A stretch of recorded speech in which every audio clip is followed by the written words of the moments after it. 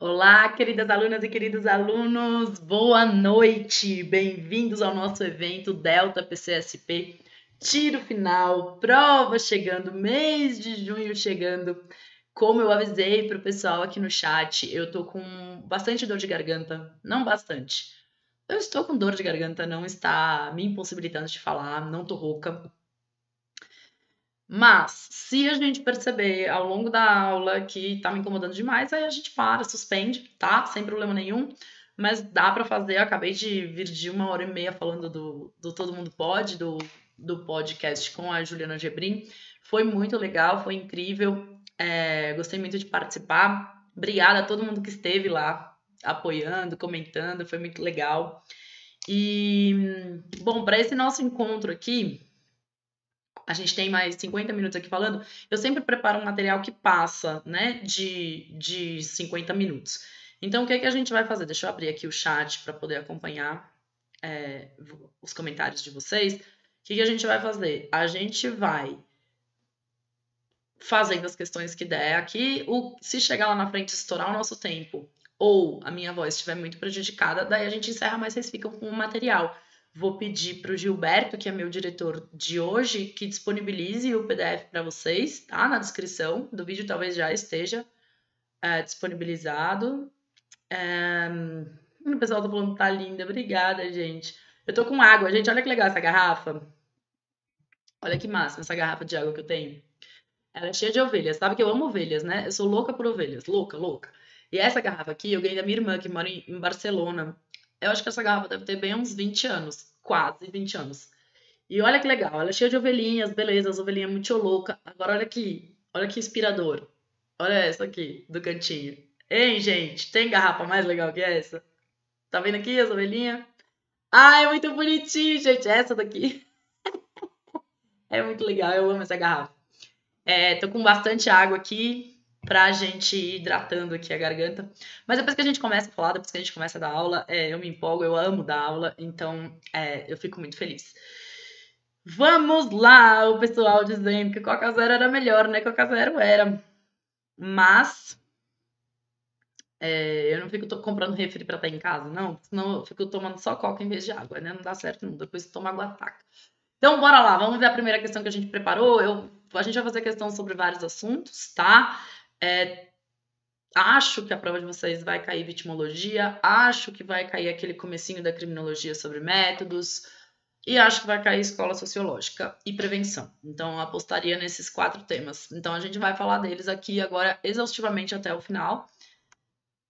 Como eu preparei bastante questão e a gente já está em reta final, eu vou dar as explicações um pouco rápidas, é, porque a gente também agora não é hora da gente ficar numa aula muito detalhada. Então, o que tiver ficado de dúvida, o que vocês errarem, vocês procurem as aulas respectivas, tá?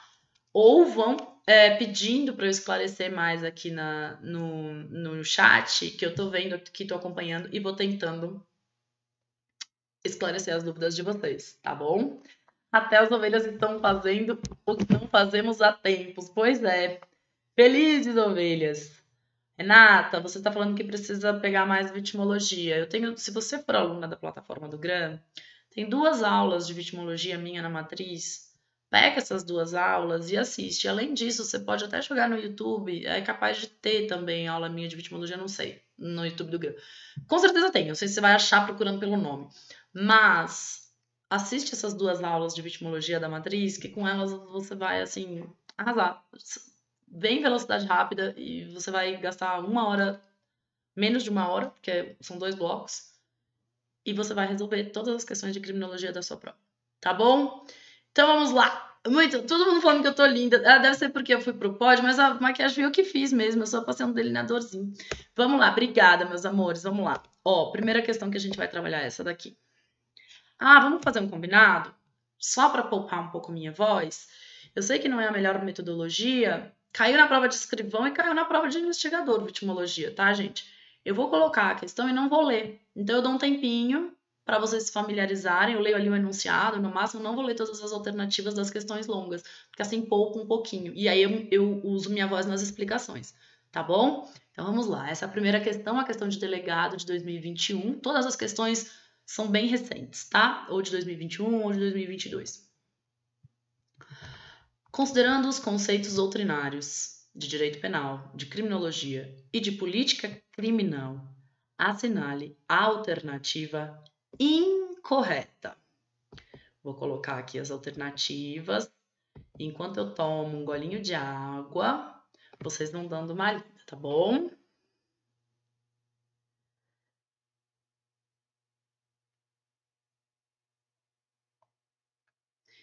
Pam, pam, pam, pam, pam, pam, pam.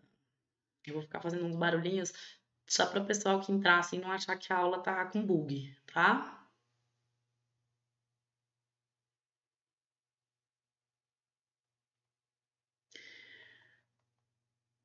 Enquanto isso, eu tô pedindo para ver se meu marido me traz uma pastilha de dor de garganta aqui.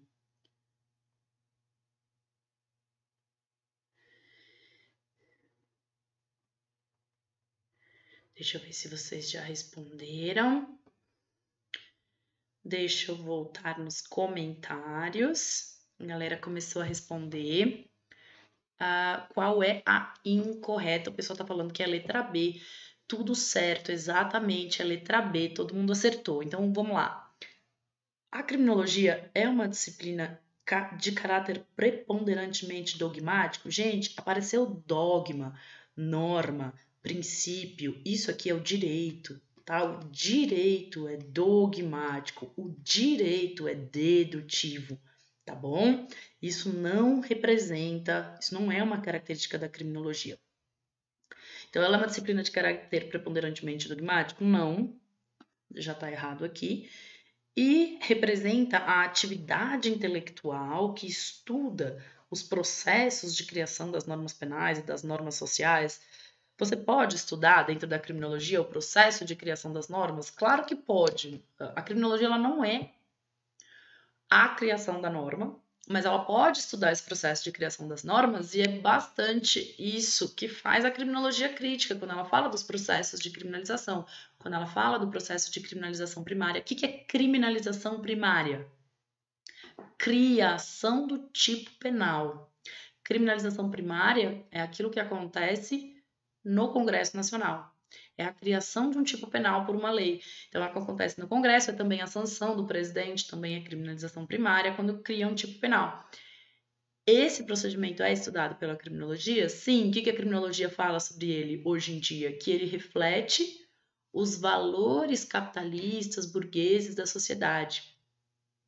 Que ele não é um processo aleatório de escolha das condutas mais, mais danosas, mas que você vai se pautar nesse processo por escolhas capitalistas, burguesas, ou seja, que refletem esse universo moral capitalista, burguês, voltado para o direito de propriedade.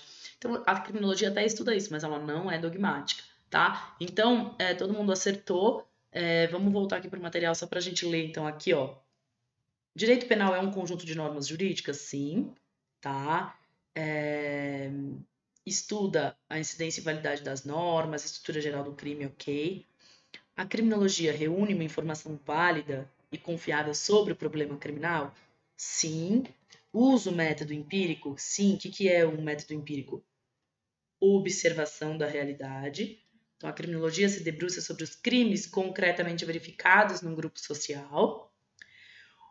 Fran von Liszt elaborou um modelo tripartito de ciência conjunta que, né, na qual a gente tem o direito penal, a criminologia, a política criminal, sim, essa escola do LIST, ela pode aparecer também na sua prova como escola de política criminal, porque ela é uma escola que tenta trazer para dentro do direito penal essas contribuições da criminologia, esses aportes, colocando a política criminal, que é quem faz a ponte entre a criminologia e o direito penal, dentro dessa ciência conjunta, dessa ciência integrada. Então a gente chama de escola de política criminal ou escola de Marburgo. Na verdade, o que a gente costuma dizer aqui é no nosso mnemônico, o que, que a gente fala? Para a gente lembrar que é do list. Escola de polis polística, para você lembrar que o list é dessa escola, tá? Escola de polística crime na Alemanha. Por que crime na Alemanha? Porque Marburgo é na Alemanha e ele era professor lá. Tá? Então, se aparecer programa de Marburgo, aparecer escola de política criminal, é essa ou escola uh, ou moderna escola alemã de política criminal. Essas são referências a essa escola do List, lá no século XIX, queria juntar tudo numa coisa só, tá bom? É, e letra E, diferentemente do direito penal, a criminologia pretende conhecer a realidade? Sim, exatamente, né? É, enquanto aquela ciência, ou seja, o direito penal, valora, ordena e orienta a realidade com critérios valorativos, critérios axiológicos. Então aqui tá o resuminho do que a gente tem, né? Então a criminologia se aproxima do fenômeno criminal para compreender, para conhecer. Ela se ocupa do ser, dos fatos ocorridos num grupo social.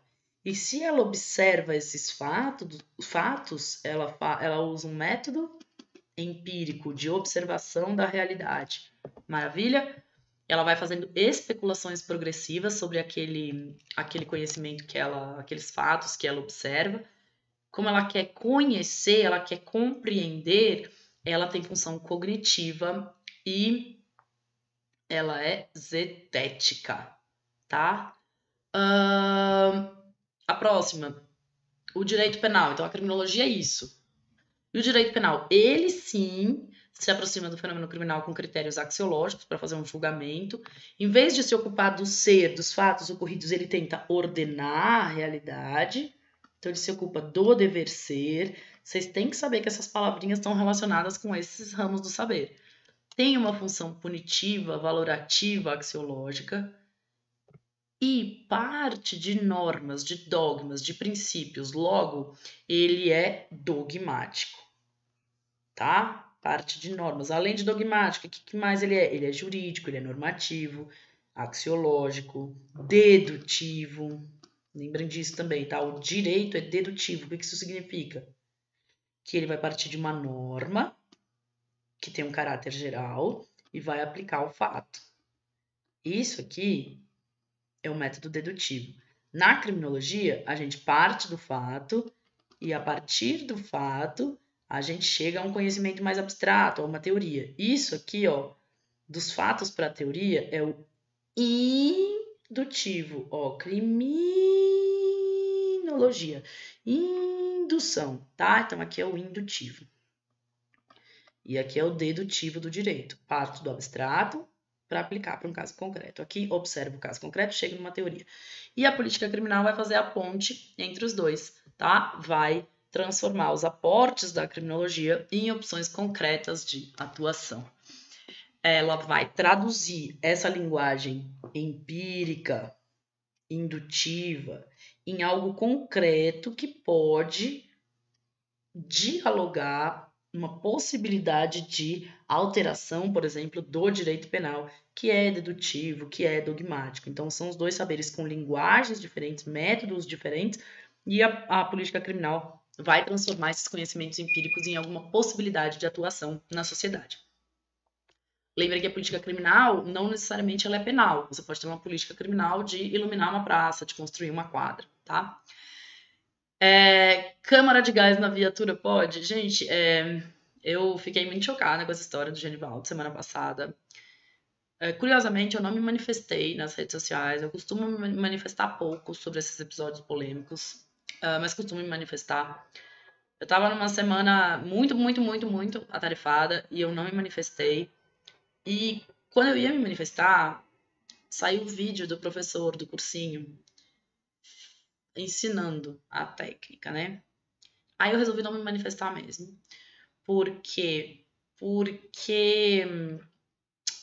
Um, porque eu não queria que parecesse que a minha manifestação estava ocorrendo só porque eu tinha tido acesso àquele vídeo e eu não sabia até que ponto aquele vídeo ia viralizar ou não. Eu recebi primeiro nas redes sociais, nas, no, no WhatsApp, no privado, e aquilo me chocou e me entristeceu muito, mas não me surpreendeu nem um pouco, né? É, surpreende um total de zero pessoas, e é isso que é mais estarrecedor.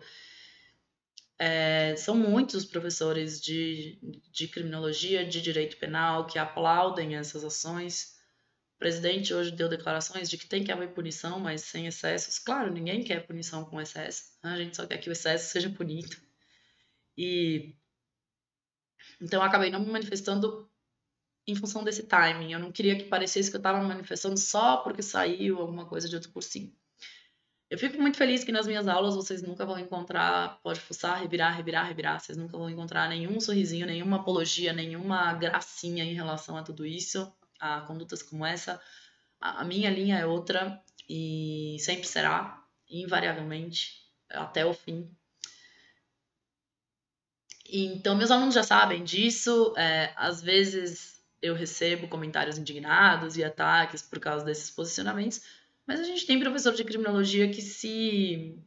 Uh, como é que eu posso dizer? Que está com. Né, que tem um pensamento mais coerente com quem aplaude abusos. Então é só procurar esse tipo de professor. Não sou eu, tá bom? que mais, meus amores? É... O pessoal falando. Tá, até que horas vai a aula? Natália, é aproximadamente até as 10 se minha voz deixar, mas ela tá deixando. E essa fica disponibilizada, tá? Mas antes de sair, deixa o like. Obrigada.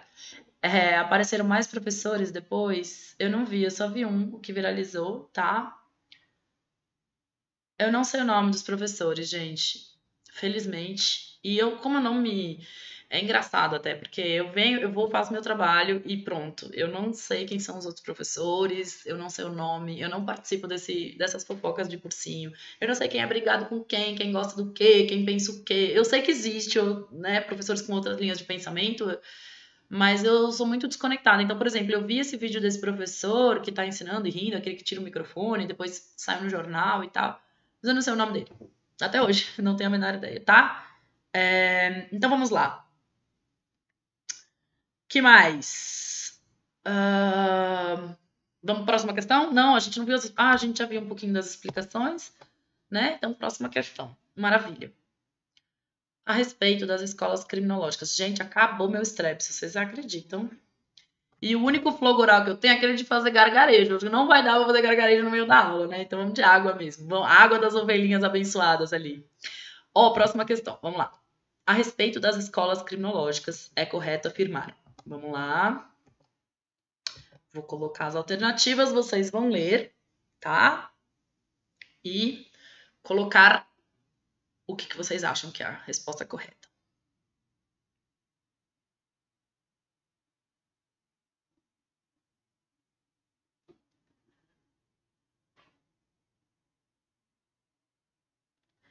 Enquanto isso, eu vou respondendo, ó, Benatux, tá bom, gente, eu adoro uma droga, adoro um remédio.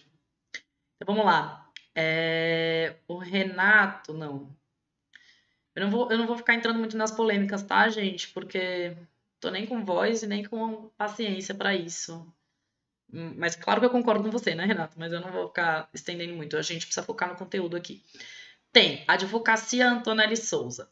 Olha, se você não conhece, é, se você precisa ver aulas no YouTube, eu sugiro que vocês, é, para quem nunca estudou criminologia e quer agora estudar até a prova, a primeira coisa que vocês vão fazer é pegar um material disponível no YouTube meu que se chama O Essencial em Criminologia. Fica no YouTube do Gran Cursos. Lá eu dou todo o comecinho da criminologia, então eu vou falar o que ela é, todo esse começo que a gente mencionou agora, os métodos, e eu começo a falar das escolas. Essa escola, essa questão que a gente vai responder agora, a próxima, todas elas você responderia com essas aulas do essencial em criminologia. Acontece que vocês vão perceber que uma hora o projeto acaba, então ele não tem muitas aulas. Mas aquele ali você já vai conseguir matar muita coisa, muita mesmo.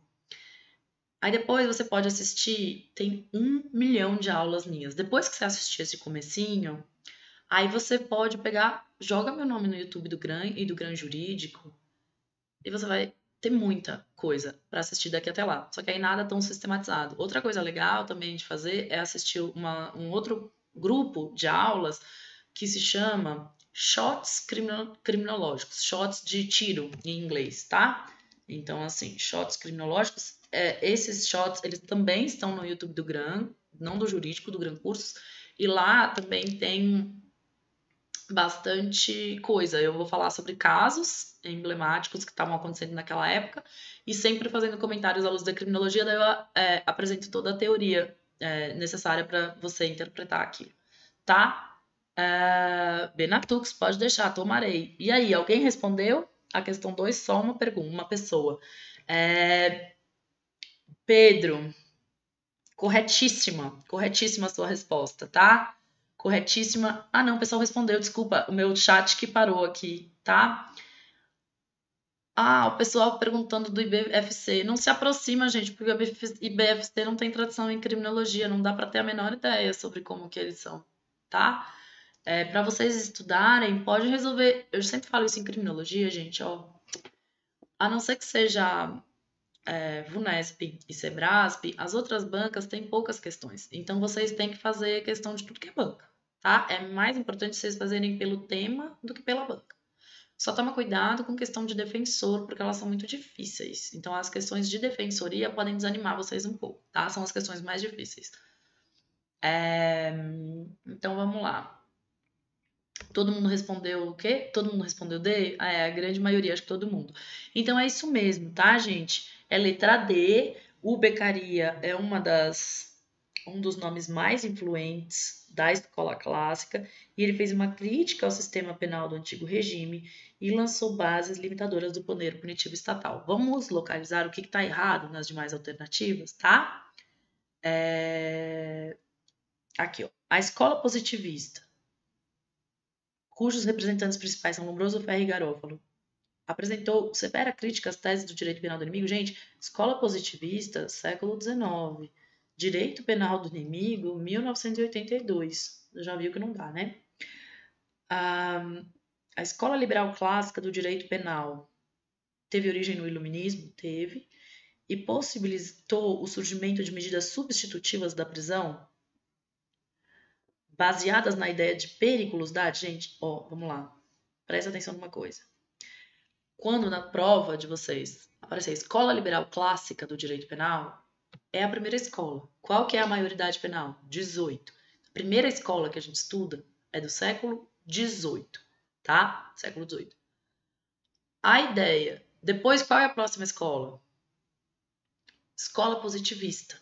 Ela vem no século XIX. A gente vai falar das duas agora. A escola positivista do século XIX é ela que vai falar em periculosidade. A escola clássica, no século XVIII, ela vai falar sobre a necessidade de as penas serem justas, proporcionais, previstas em lei. Essa é a escola do século XVIII, escola clássica. A escola XIX vai falar assim: não, o criminoso é o quê? Um doente. Se ele é um doente, o que, que eu preciso? Pena proporcional? Não. Medida de segurança, baseada na periculosidade do agente, tá? Então, periculosidade é século XIX, positivismo. Tá? A escola clássica tem duas fases, uma filosófica e outra jurídica do Ferri. Não, o Ferri é positivista, né? E a escola positivista, tributária do método científico experimental, até aí tá certo. Explica a criminalidade a partir do estudo do homem delinquente, tá certo. O qual pratica crimes porque é dotado de livre-arbítrio? Não, livre-arbítrio, escola clássica. Então, algumas palavrinhas chaves que você chave, palavras-chave que vocês têm que saber para a prova, tá bom? É, vamos lá. Ó, falou em periculosidade, escola positivista. Falou em livre-arbítrio, escola clássica. Olha aqui, os clássicos. Que, que, como é que a gente estuda isso mesmo? Escola clássica do direito penal. O crime é um ente jurídico. Lembra que quando falar em escola clássica, ainda que apareça a escola clássica da criminologia, no seu pensamento, você vai pensar assim: a escola clássica do direito penal. Por que é? tá? É uma etapa pré-científica, ainda não existia criminologia como ciência. Se ela é uma escola do direito, ela ainda vai usar métodos do direito, ela ainda vai se preocupar com coisas típicas do direito, como, por exemplo, uma pena proporcional, justa, prevista em lei, tá? E o que, que essa escola fez? Organizou o direito penal e ela veio como decorrência direta do iluminismo. A escola positivista também, tá? mas ela é uma decorrência mais próxima. O iluminismo foi um movimento filosófico que colocou o ser humano dotado de livre-arbítrio no centro das explicações sobre a sociedade, no centro de todas as explicações. Você tira Deus, você tira o soberano das explicações e você começa a analisar a sociedade a partir do ser humano, que é visto como um ser racional. Então, para a escola clássica, o delinquente ele é o quê? Um ser racional, dotado de poder de escolha, de livre arbítrio. Essas palavras são absolutamente centrais para entender a escola clássica, tá? Então, como ela é uma escola do direito, aqui o crime ainda é visto por uma lente jurídica.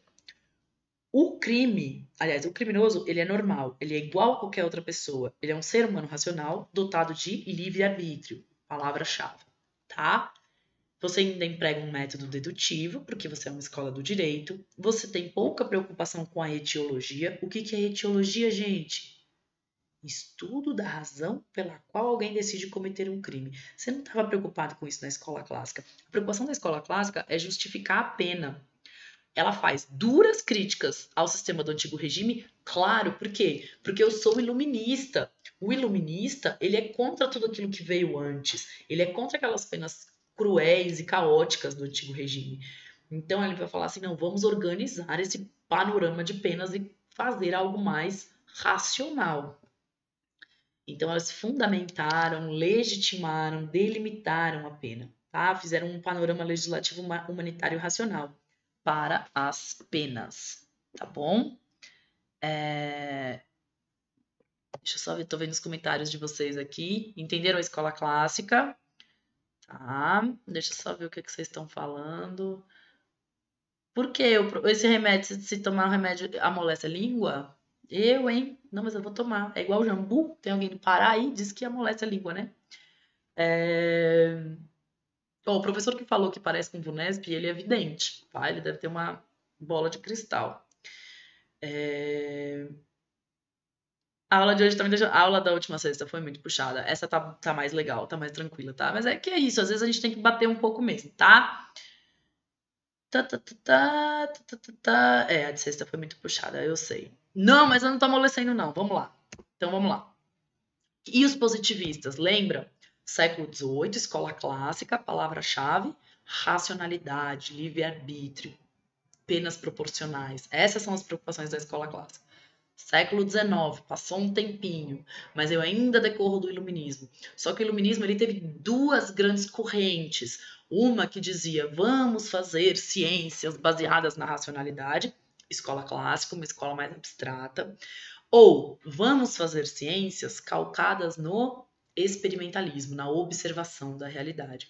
E é aí que surge o positivismo. O positivismo criminológico, que também tem epicentro na Itália, assim como a escola clássica, em vez de se preocupar com umas penas, com o direito penal, ele quer o quê? Observar a criminalidade, observar o crime. Quem que ele observa? O criminoso pega o corpinho do criminoso e vai esquadrinhar. E quando ele esquadrinha esse corpo, ele fala: Eita, que essa pessoa aqui é muito diferente de mim. Ele não é uma pessoa como qualquer outra. Ele é um doente, ele é um ser involuído, tá? Então, é, o tanto a escola clássica quanto a escola positivista nascem, bebem dessa fonte iluminista, tá? O positivismo surge um pouquinho depois, mas também a partir dessa visão do, de mundo em que a gente tem que organizar as ciências, organizar o pensamento, mas aí com uma visão mais empírica.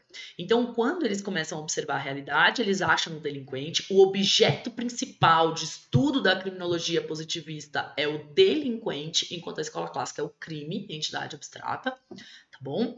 E aí eles olham o delinquente, acham que o delinquente é um doente, um ser involuído, diferente dos demais, e como ele é um doente, em vez de livre-arbítrio, eu tenho o quê? O determinismo. Ele está determinado a cometer um crime em grande parte dos casos, porque ele tem problemas lá, ele é diferentão. E aí ele acaba cometendo esse delito. Então, ele, como ele é diferente, ele é perigoso. E eu preciso achar quem são essas pessoas e deixar elas presas pelo tempo que aquela patologia durar. É isso que é a medida de segurança, tá? Então, é aí que surge a medida de segurança. Então, se falar em livre-arbítrio, escola clássica se falar em racionalidade do criminoso, escola clássica. Se falar em penas proporcionais, escola clássica. É assim que você vai matar essas questões, como a resiliente águia falou agora há pouco, eu esqueci o nome dela. É, se falar quais são as outras palavrinhas do positivismo? Se falar em determinismo, se falar em criminoso como um ser doente, anormal, se falar em criminoso nato, que está, né, já nasce criminoso, se falar em periculosidade, medida de segurança, escola positivista, tá bom? Então essas palavrinhas-chave, elas matam muitas questões. Então o que, que os positivistas vão uh, falar? Uh, observação dos fenômenos criminais, então isso aqui é o que? Empirismo, tá? Trazendo os métodos das ciências naturais, das ciências biológicas para as ciências humanas. Então, começa a empregar esse método empírico, indutivo e multidisciplinar, ou, melhor ainda, interdisciplinar. Interdisciplinar é melhor que multi, tá? Mas se só tiver multi na sua prova, você marca multi. Mas se tiver inter ou multi, você marca inter. Inter, de criminologia empírico, indutivo, interdisciplinar, tá bom? Um, já que não dá para observar normas, eu observo o próprio delinquente. O crime agora não é mais um fenômeno jurídico, ele é um fenômeno biológico que está no corpinho do delinquente.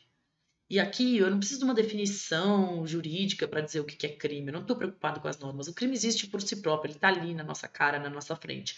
O delinquente ele é um selvagem, ele é um doente que já nasce criminoso.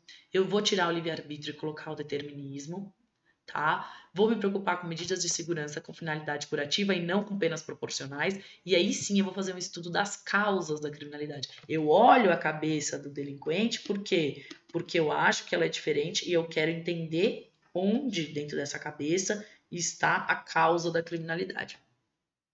Tá? É, então, essas são as diferenças essenciais. Com essas informações, você matava aquelas questões ali. Deixa eu dar uma olhada no chat aqui que vocês estão que falam hoje. Vamos lá. É...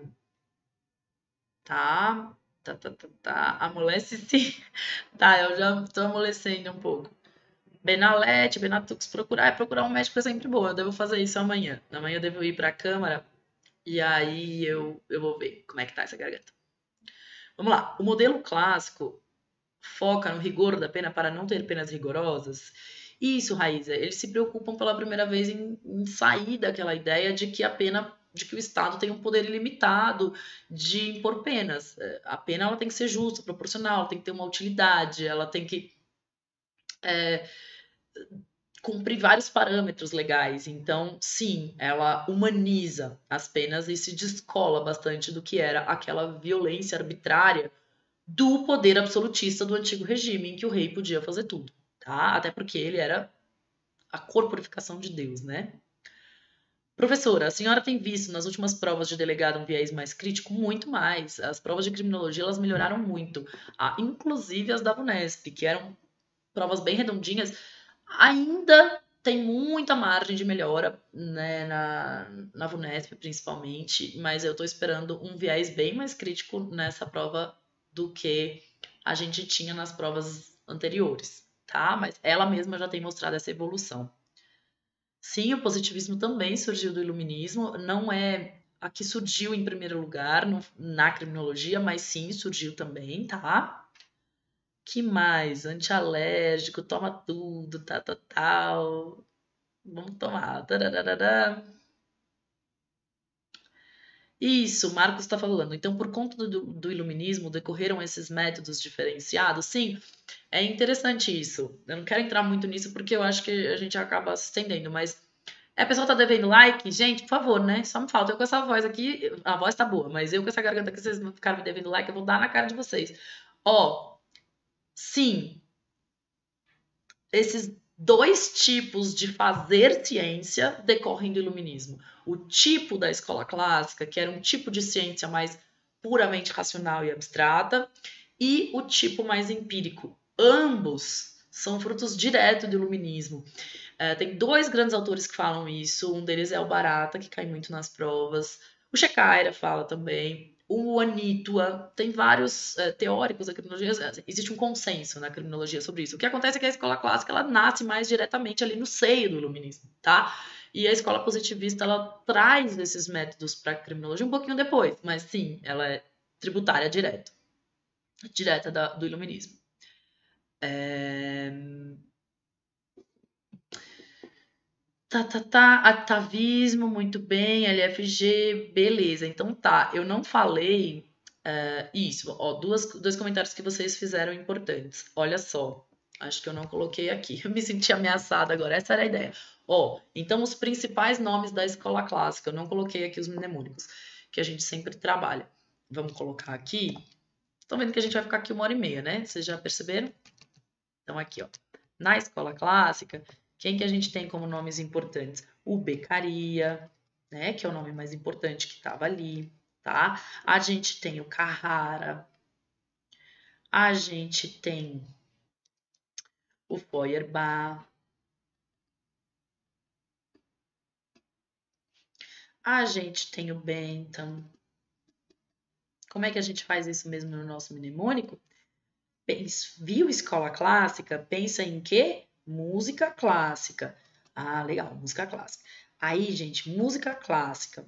Como é que é o ambiente onde você vai ouvir música clássica? É um ambiente bonitão, com uma parede de mármore Carrara e que tem uma lareirinha com fogo, Feuer, em alemão, os principais nomes, que também não colocamos aqui. A gente tem o Lombroso, que é o que, gente? O pai da criminologia. Se ele é o pai, ele é o que? O cara. Se ele é o cara, ele é o que? O homem. Como chama o livro dele? O homem delinquente, que é exatamente o que se vai estudar aqui tá? Olha só que interessante. Você lembra disso, o homem delinquente? E o que, que a gente estuda na criminologia positivista? O próprio delinquente, tá? Tem também o ferre e tem também o garófalo.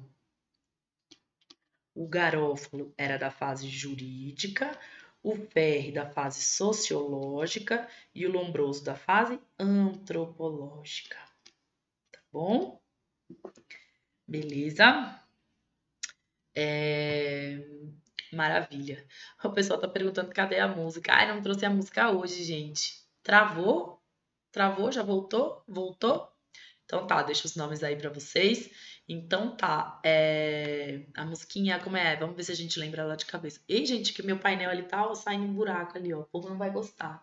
Eita, topa buraco, professora. Eu devo ter me mexido aqui. É... Como é que é? Alala, oh, oh, oh. Alalaô, crimino, criminologia. Na escola clássica do direito penal, todo mundo é igual e a pena é proporcional. Todo mundo é igual, dotado de livre-arbítrio, as pessoas não são essencialmente diferentes, o criminoso e o não criminoso, e a, e a preocupação é com uma pena proporcional. Alala, oh, oh, oh. Alala, oh, criminou, criminologia. No 19 surgiu o positivismo que tira o livre-arbítrio e põe o determinismo. Alala, beleza? Então vamos lá. Próxima questão. Questão número 3.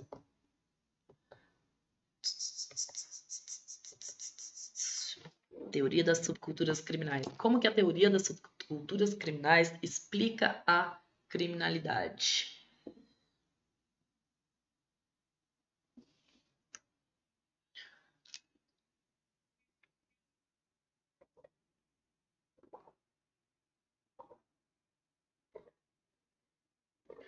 O pessoal já está respondendo.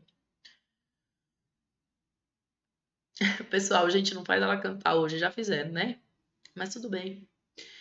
Tá de boa. Eu tô, eu tô falando num. Não sei se alguém aí entende de voz, talvez a Mabel, mas eu tô, eu tô, eu tô num, num, falando num outro tonzinho de voz aqui mais abaixo, para não usar uma parte aí da garganta. Eu, não, eu precisava de uma fono, né, para explicar. Mas vamos lá. Ah, desculpa, é aqui. Todo mundo acertando, letra D, maravilhoso, tá? Então tá. Teoria das subculturas criminais explica a criminalidade pela transmissão de valores subculturais. Claro, né? Tá fácil até. Dava para matar a questão sem saber. Que pressupõe um processo de interação e aprendizagem e pela interiorização de técnicas de neutralização, por meio das quais os jovens justificam o comportamento desviante. Aí eu sei que vai ter gente que vai falar, professora, isso aí não está misturando subcultura com associação diferencial, com teorias do aprendizado? Olha, eu sempre falo para vocês que quando a gente estuda as teorias criminológicas, a gente faz uma divisão didática. A gente vai falar dos principais autores, a gente vai falar o nome que eles deram para suas teorias e tal. Mas é claro que a gente pode agrupar algumas linhas de pensamento. Lembrem que o Barata e uh, falar do Barata, o Alessandro Barata, ele coloca no mesmo capítulo, no mesmo bloco, as teorias do aprendizado e as teorias subculturais. Então, aqui está um pouquinho misturado, porque eles estão se baseando na obra dele, tá bom? Então, porque de fato você não tem uma interrupção entre essas duas teorias. É, eu vou explicar um pouquinho o que são as técnicas de neutralização aqui de cabeça, tá? Mas vamos primeiro é, só colocar algumas informações aqui. Então vamos lá. A letra A, falando pela via do conceito da anomia. Isso aqui é teoria da anomia, obviamente, tá? Então, essa era uma questão fácil, tá? Uh, conceito de criminalização primária e secundária e processo de criminalização é criminologia crítica, tá? Atavismo social, alguém até fez um comentário ali. Quem é que falava de atavismo, gente? Lombroso. Tá? Então é o positivismo. O que, que é o atavismo, gente? Atavismo é o seguinte: uma característica hereditária que deixou de aparecer na transmissão, na, na, evolução das espécies, e que daqui a pouco volta a aparecer lá na frente. O que, que isso significa? Que essa pessoa que possui esse traço, esse componente atávico, ele é um produto da não evolução, alguém que está apresentando uma característica tipo dos, dos que não evoluíram, que tinha, que tinha ficado lá atrás na história tá? Porque o Lombroso falava muito, fazia muito essa associação entre criminoso e não evoluído. Ele adorava o pensamento do Darwin de evolução. E letra E, a partir do conceito freudiano do sentimento de culpa. Gente, isso existe mesmo, essas aqui são as teorias psicanalíticas da criminalidade, tá bom? É, raramente caem em prova. A Mabel falou que eu tô uma oitava abaixo. Olha só que coisa linda, gente. Eu acho maravilhoso quem entende de música Cara, eu estudei, eu fiz aula de violão, eu sabia fazer escala, porque era uma coisa matemática, mas eu não entendia nada. Eu não sei diferenciar um lado de um dó até hoje, nunca saberei. Morrerei sem saber. Aí o pessoal falava, não, pega. É, na época que tinha telefone fixo, não tenho mais hoje. Aquele som é um lá, aquilo lá, mano, aquilo lá é um pé, aquilo é um lá. Eu acho maravilhoso, é uma linguagem que eu realmente nunca, nunca compreenderei, assim, acho incrível quem entende de música. Vamos lá. Essa questão, então, falava da teoria das subculturas. Vamos colocar a teoria das subculturas, depois eu falo da técnica de neutralização. Então, lembrando, teoria da subcultura delinquente, ela é lá da década de 50 dos Estados Unidos. Ela se desenvolve a partir de uma obra chamada Delinquent Boys, do Albert Cohen, tá? Nesse livro, ele vai analisar a delinquência juvenil e ele vai uh, dizer que a subcultura delinquente é um meio que os boys, ou seja, jovens, crianças, adolescentes, têm de lidar com problemas de ajuste. Certas crianças não conseguem preencher os critérios do que, é respeitável na sociedade e eles se juntam em subculturas, em gangues, em outros grupos que vão criar seus próprios critérios de status e que eles podem alcançar. E nessas, nesses grupos, nessas gangues, eles vão praticar várias atividades, algumas delas delitivas. E o que, que eles valorizam nessa subcultura? Essas são palavras-chave para a teoria da subcultura delinquente. Claro que elas podem não aparecer, como nessa questão, tá? Mas se elas aparecerem, e a Vunesp gosta dessas palavrinhas, a gente está falando dessa teoria, tá? Então, não utilitarismo, é uma ação que não tem nenhuma utilidade prática, mas eles vão lá pichar o um muro porque estão afim. Malícia, prazer em causar desconforto nos outros negativismo, fazer tudo ao contrário do que as normas convencionais mandam, versatilidade, fazer cada dia uma coisa. Um dia pichamuro, um dia fumar maconha. Hedonismo de curto prazo, uma preocupação só com aquele prazer que dali, é, daquele momento, e uma solidariedade muito forte dentro da gangue, que significa inclusive rivalidade com os outros, né? Então, autonomia de grupo, ele chama assim, tá? De autonomia de grupo. É, então, essas são palavras-chave para a teoria da subcultura delinquente. Lembrem que o autor principal é o Cohen. Então, do que, que ele está falando? Ele está falando de pessoas que não vão abaixar a cabeça, que não vão se submeter às regras tradicionais. E aí a gente canta mais uma vez, né? Quem nasceu pra malandragem não quer ser doutor. Há 500 anos essa banca manda vera. Abaixa a cabeça, já era. Então diz, essa onda que tu tira qual é? Essa marra que tu tem qual é? Tira onda com ninguém qual é? Qual é, neguinho? Qual é? Beleza? É... Então, isso é a teoria da subcultura mais clássica, mais tradicional, que cai nas provas, principalmente VUNESP. O que, é a teoria da neutralização? A VUNESP já cobrou algumas vezes. Essa teoria, e aí o, o Barata junta um monte de teorias no mesmo balaio, é uma teoria que vai falar o seguinte: além de é, aprender a cometer o crime dentro dessas subculturas, é, você aprende, né? Então você vai ter um aprendizado do que? Do crime, de como cometer o crime, e também um aprendizado sobre as técnicas de neutralizar, hum, basicamente de neutralizar a culpa. É, essa teoria, opa, da neutralização, ah, desculpa, gente, neutralização. Como é que a gente lembra quem são os principais autores? No nosso mnemônico faz, faz assim. É... Neutra. O que, que é neutro? Neutro, neutro, neutro, uma coisa neutra. Alface, né? Você vai comer, você bota um monte de alface no prato porque não engorda, né? É neutro. Então, neutro é a grama. É o alface, é o mato. Aí você lembra de grema. Aí você põe assim, ó. Aqui é um autor chamado Matza. Eu sei que é, um, é muito nome, né, gente? Mas a, a, gente a gente vai colocando aqui. E o outro é o Gresham Sykes. A gente chama ele de Grex, tá? Então, o David Matza e o, e o Gresham Sykes, eles vão falar assim, ó, esse negócio de subcultura, de que os jovens têm uma cultura própria, é balela. Na verdade, os jovens, eles têm a mesma cultura do grupo social. Sabe por quê? Porque eles sentem culpa, eles sentem remorso. Eles sentem que eles precisam neutralizar essa culpa, esse remorso que eles sentem. Eles precisam justificar quando eles cometem um ato delitivo. Logo, eles partilham do mesmo sistema de valores. Logo, além de aprender nesses grupos, nessas gangues, a cometer um delito, eles têm que aprender também as técnicas de neutralização da culpa. E aí ele vai falar que existe, eles vão falar que existem cinco técnicas de neutralização da culpa. É, eu não vou colocar todos os detalhes aqui dessas técnicas, mas você tem assim, ó, por exemplo, técnicas de neutralização. Quais são? Só para vocês saberem identificar lá na prova. Então você pode falar assim: a, a culpa é da vítima. Então você fala assim: a culpa é da vítima, porque ela, na verdade, tinha me feito mal e eu então vou lá e vou me vingar dela.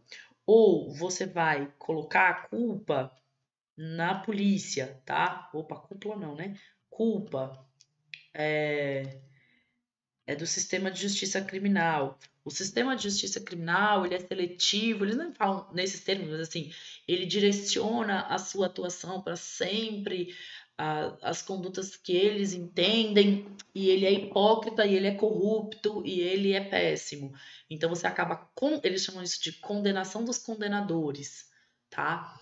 É, você pode também dizer que você fez aquilo por um sentimento maior. Então, você vai colocar, por exemplo, assim: é, eu pratiquei esse ato porque eu tenho um sentimento maior, como nacionalismo nos casos de terrorismo. Tá? Então, são técnicas para tentar espiar essa responsabilidade, tá bom? É... Então, essas são algumas das técnicas de neutralização que eles mencionam. Aqui eu coloquei, gente, os mnemônicos que a gente faz, só para a gente lembrar, para cada uma das escolas do consenso. Aqui estão só as do consenso. O que, que passou aqui sozinho, gente? Pirou? Não, peraí. Aqui, foi. É, então, aqui é a escola de Chicago. Qual que é a palavra-chave para a escola de Chicago? Falou em escola de Chicago. Desorganização social das grandes cidades. Tá? Essa é a palavra-chave. Park, Burgess, Shaw, McKay. Quando eu vou para Chicago, que é o que? Uma grande cidade dos Estados Unidos.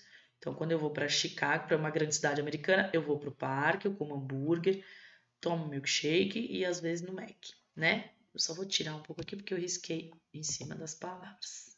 Ai, gente, tem que apagar, né? Não é voltar aqui, tá? Teoria da anomia, qual que é a, frase-chave? Que o crime é normal e útil, a não ser quando ultrapassados certos limites. Então, a gente chama de teoria da anormia, para você lembrar que o crime é normal e útil. E também é uma teoria que vai falar sobre esse descompasso entre os meios que a gente tem para atingir certos objetivos e os objetivos, as metas. Palavra-chave da teoria da associação diferencial.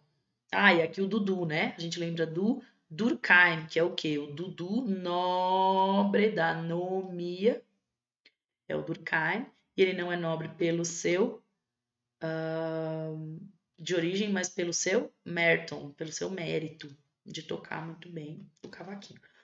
Associação diferencial, a gente lembra do que o crime é um aprendizado, numa interação que se dá nos grupos mais íntimos, e a gente lembra também de crime do colarinho branco, tá? Então a gente pensa, eu me associo para fazer algo diferente. Por que, que eu tenho que me associar para fazer algo diferente? Porque eu vou me associar com outras pessoas para aprender, tá? Aprendizado. E a gente lembra do Sutherland, que é terra do sul, a gente lembra de Curitiba, a gente lembra de Lava Jato, a gente lembra de crime do colarinho branco. E a teoria da subcultura delinquente é que a gente acabou de falar, tá? Então, beleza, e só os mnemônicos mesmo para a gente um, avançar. É... O que pega é que é muito nome. Olha, deixa eu te falar. Gente, é muito nome. É por isso que a gente faz um milhão de recursos de memorização. Mesmo para decorar o recurso de memorização dá um pouco de trabalho. Por isso que eu falo, estudem, estudem de novo, vejam esses recursos de memorização várias vezes, produzam o recurso de vocês se esses não funcionarem. E aos poucos, esses recursos de memorização, eles vão, é, são eles que vão te fazer gabaritar, tá? Porque é fundamental, porque é realmente muito nome, tá? É isso mesmo. É, infelizmente é assim. Uh, pichação e grafite podem ser pertencentes à subcultura delinquente? Sem dúvida nenhuma, independentemente do comentário que fizer abaixo, ah, grafite é arte, não é crime. Mas veja que a subcultura delinquente ela não pratica somente atos delitivos. E também o que é delito para um, às vezes não é para outro, mas completamente é, correta a sua colocação, Wellington, tá? Então, essas atitudes de, de que os jovens fazem e que não tem grandes utilidades é, concretas ali, né? Ele não vai ficar mais rico ou mais pobre porque ele pintou um muro, não vai conseguir pagar um boleto. Às vezes vai, se for um grafite remunerado, mas uh, não é essa a essência, né? Então você não tem utilidade e é dessa cultura dos jovens. Então, sim, tá? Deixa eu ver se tem mais alguma algum comentário. Não, vamos para a próxima. No livro Criminologia, Crítica e Crítica do Direito Penal, Alessandro Barata ao apresentar determinada perspectiva teórica, explica que, para seus autores, as perguntas centrais seriam aquelas dizendo a respeito a quem é definido como desviante, que efeito decorre dessa definição sobre o indivíduo e quem define quem. O trecho citado se refere a qual perspectiva criminológica? Deixa eu colocar aqui em mim para ver se tem mais uma alternativa que tem. Agora eu volto. Não coloco a resposta antes, né?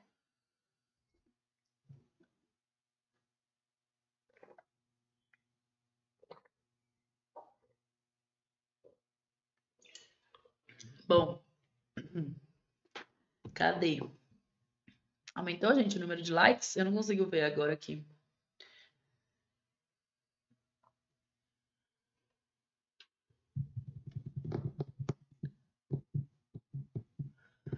Vamos ver, vamos ver. Bom, tá aí as respostas variaram um pouco, né? Então vamos lá, ó. ele está falando do seguinte: é uma perspectiva que fala que a pergunta central da criminologia é: quem é definido como desviante? Quem define quem? Qual o efeito que decorre sobre essa definição uh, sobre o indivíduo? Cara, isso é letra C, tá? Etiquetamento social.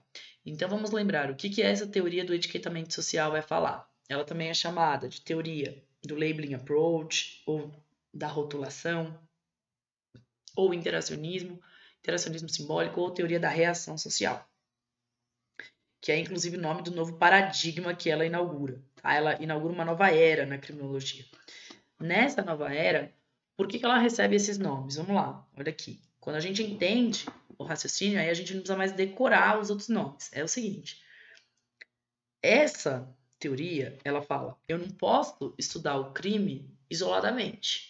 Eu só posso estudar um fenômeno sociológico, um fenômeno social como crime, se eu estudo todas as variantes, todos os participantes. E qual é o participante que eu tenho que é fundamental e que não estava sendo estudado até ali? A polícia. A polícia, o Ministério Público, o Poder Judiciário. Então, as instâncias de controle social formal. Então, não adianta eu estudar o crime sozinho. Eu preciso estudar o crime e eu preciso estudar a reação ao crime. Teoria da reação social. Por quê? Porque eles se complementam. Esse processo de interação tem que ser levado em consideração. Teoria interacionista é a interação entre o crime e a reação ao crime. Quando, a, quando as instâncias de controle social formal reagem, elas reagem fazendo o quê? Distribuindo uns papeizinhos. O que, são esses papeizinhos? Etiquetas. Etiqueta de criminoso, etiqueta de crime que eles vão colar só em algumas situações, só em alguns criminosos tá? Então é por isso que recebe esses nomes. Então essa teoria surge na década de 60, inaugura esse novo paradigma, vai dizer que o importante não é mais fazer a etiologia, que vinha sendo feita desde a escola positivista, mas sim compreender quais são os mecanismos arbitrários que fazem com que certas pessoas sejam etiquetadas como criminosas pelas instâncias de controle social formal. Então, tem um mecanismo arbitrário que vai jogar um papel fundamental nesse processo.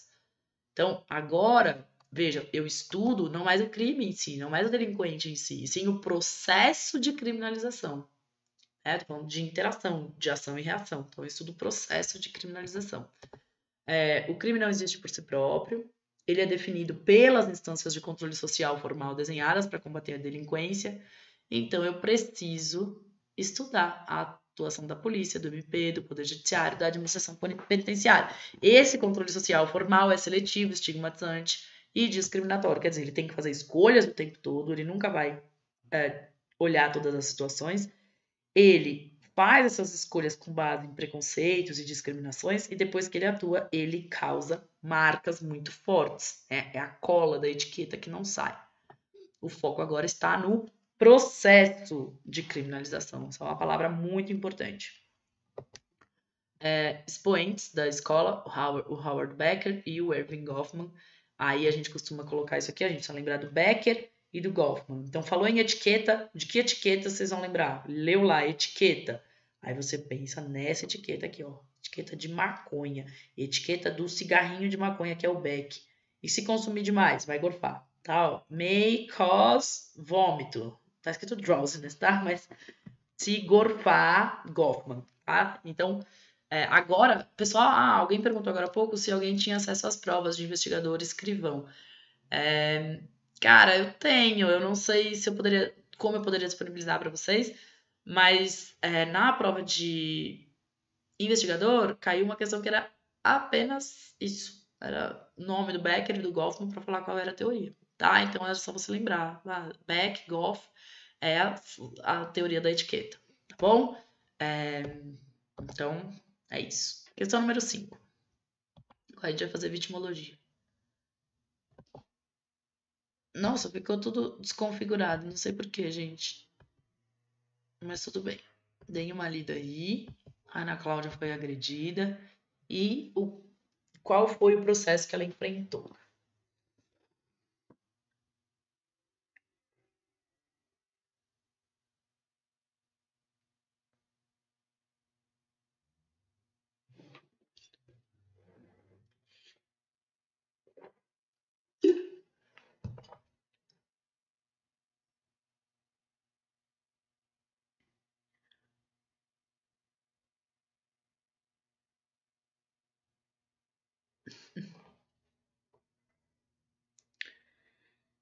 Mas o que, que tem a ver a pizza, criatura? A mulher falou que tá comendo pizza. Gente, vamos agilizar aqui, porque já tá todo mundo cansado. Letra D tá correto, tá? É vitimização primária e depois vitimização terciária. Não, desculpa, secundária. Primária e secundária, né? Letra D. Então, no momento em que ela uh, é atingida pela prática do crime, tá? No momento em que ela apanha do marido, é isso, né? A história. É, ela foi agredida, tá? É, ela passa pelo momento de vitimização primária. O sujeito é atingido pela prática do crime.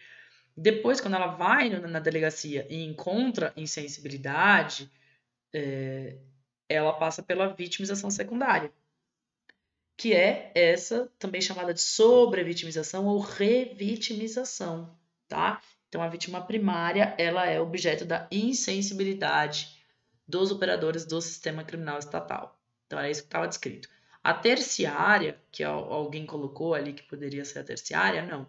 Terciária, apesar de não haver consenso, você tem duas correntes principais e nenhuma delas fala sobre isso, tá? Sobre essa insensibilidade do sistema de justiça criminal estatal. A banca de vocês gosta mais dessa daqui.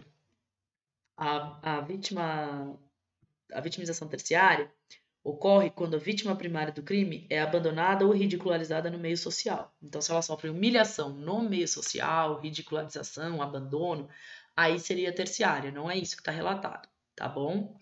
É, Para outros, a vitimização terciária ela não atinge a vítima primária, ela atinge o autor do fato tá? O autor, ele sofre um sofrimento, passa por um sofrimento excessivo, como tortura, apedrejamento, tá? Linchamento, aí isso seria a terciária.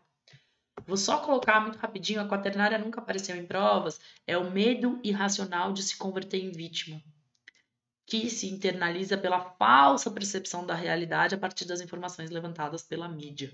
Tá? Então, como a mídia fica difundindo muito medo do crime, as pessoas elas acabam passando por esse medo irracional. Isso já seria a vitimização quaternária, tá bem?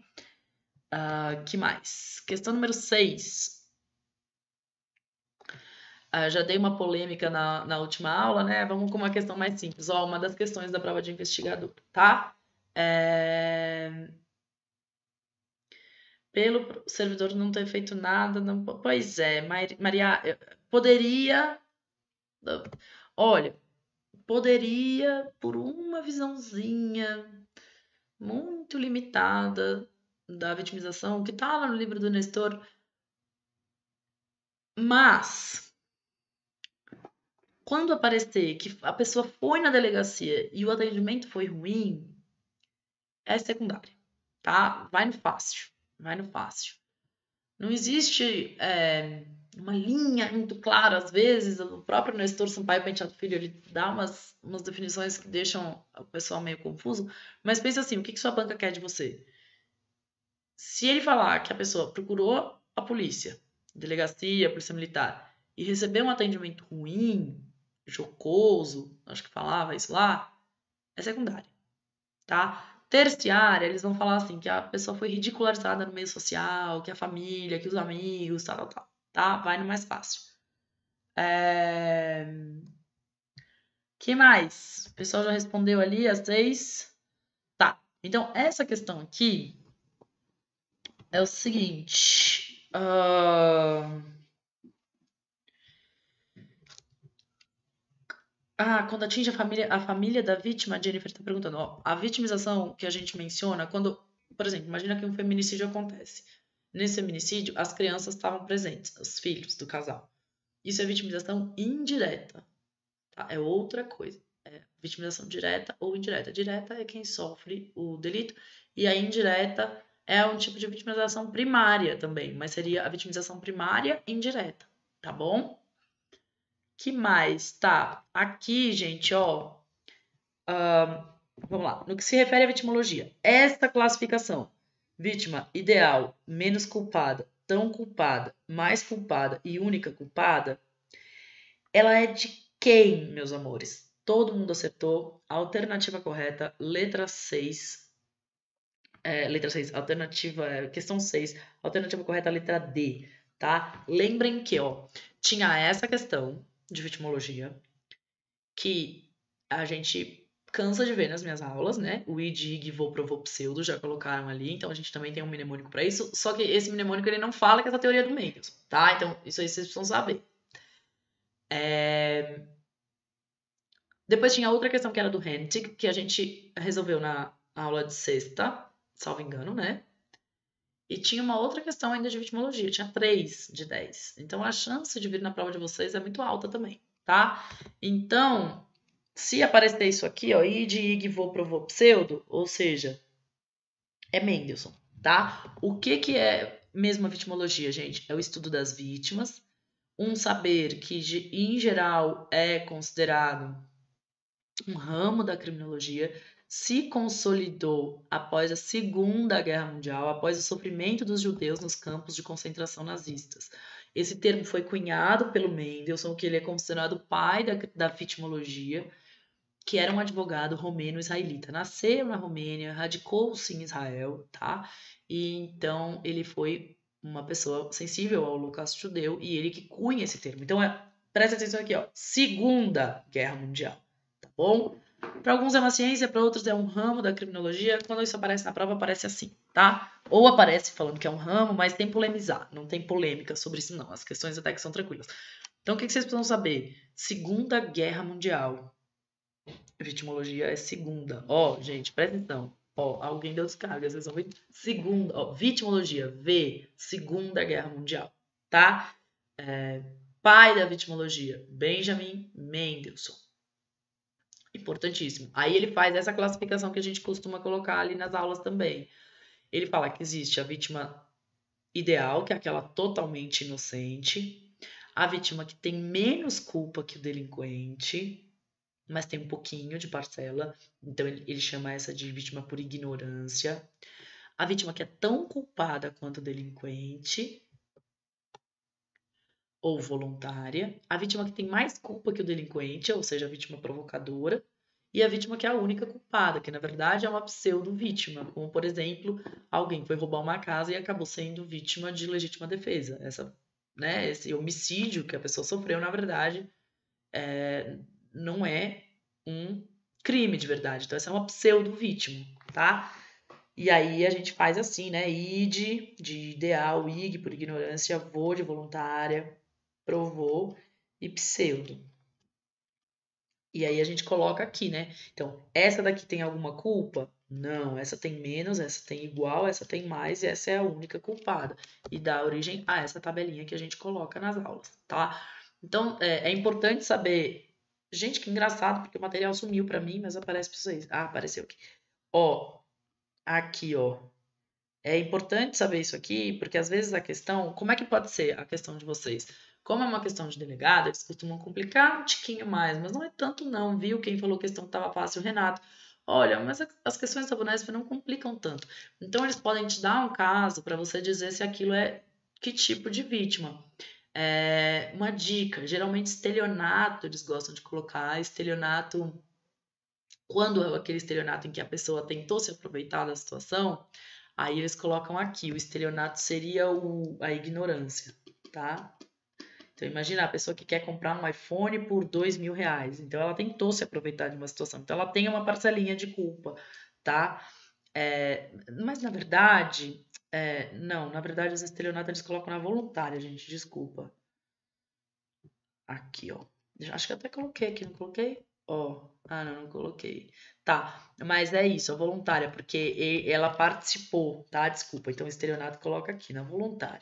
Mas, claro, aquele, a vítima de estelionato que tentou se aproveitar de uma situação, tá? É, bom, e é isso. Questão número 7, agora acho que é a última, tá? É, o Drapkin, não é Draptikin, é Drapkin. Ele era chileno-argentino. Ele nasceu acho que ele nasceu na Argentina e era radicado no Chile. E ele depois foi morar em Israel também, então também foi para lá. O Israel Drapkin foi morar em Israel. Uh, o pessoal está falando que se seguir a tendência de 2014 2018, a prova de investigador será considerada mais difícil que a de delegado. Olha, estava muito fácil de investigador, viu? Então acho difícil. É, acho difícil ela tá mais fácil ainda. Que mais, então? Só para a gente finalizar aqui. É... Ah, eu já coloquei o gabarito, mas tudo bem. Então, prevenção primária consiste na implementação de medidas sociais indiretas de prevenção para evitar que fatores exógenos sirvam como estímulo à prática delituosa. É, tá certo, tá, gente? A prevenção primária, ela vai falar de medidas sociais. Ai, gente, meu microfone aqui quase caiu, peraí. Ela vai falar de medidas sociais, de políticas públicas, tá? E elas, essa prevenção, é, ela tá muito conectada com